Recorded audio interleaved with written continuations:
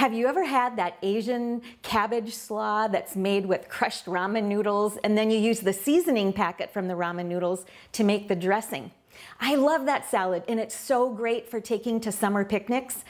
Now, if you make that salad, don't be surprised when you look at the ingredients that are in the seasoning packet and you see salt, sugar, and MSG as the first three ingredients. Those are ingredients that people are either trying to control in their diet or trying to avoid altogether.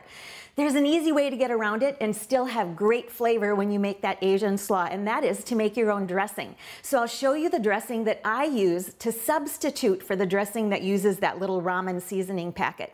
So first of all, I've put three tablespoons of soy sauce or tamari you can use. I'm using tamari today, but you can also use soy sauce. Three tablespoons. Three tablespoons of rice vinegar. You can find it in all grocery stores these days. And I've got the grated zest from one lime that I'll put right in there. And then also the juice from one lime. I'm also going to squeeze juice from about a tablespoon of grated fresh ginger that I've already grated ahead of time. I've also got about a tablespoon of minced garlic. For a little bit of sweetness, you can use honey or sugar. I'm gonna use a little less than a tablespoon of sugar. So it's not going to be a very sweet dressing at all. And then because I like a little spice, I'm going to put in a teaspoon of some nice hot sriracha, but that's totally optional. And then just mix that right up. I've got a mixture of red cabbage and green cabbage, probably about four cups. And I'm going to add one cup of carrots and about half cup of sliced green onion. And just because I had some peppers in my fridge I wanted to use, I've got some green and red pepper.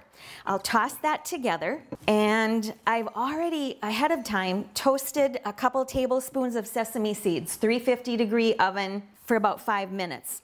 I'll put those in too and give it a little a little stir, and I'm just going to put the dressing right over this mixture and toss it up.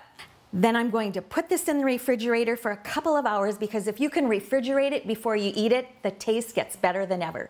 At serving time, top it with half cup of sliced almonds that have been toasted a little bit in the oven, probably 350 degrees for about five to eight minutes until they're a little bit brown.